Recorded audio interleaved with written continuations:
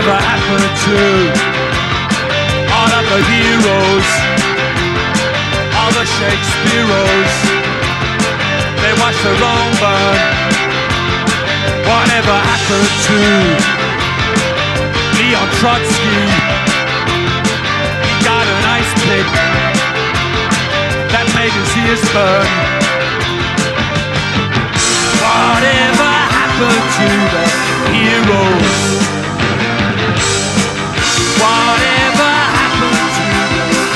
Heroes? Whatever happened to dear old Lenin, the great Elmira, and Sancho Panza?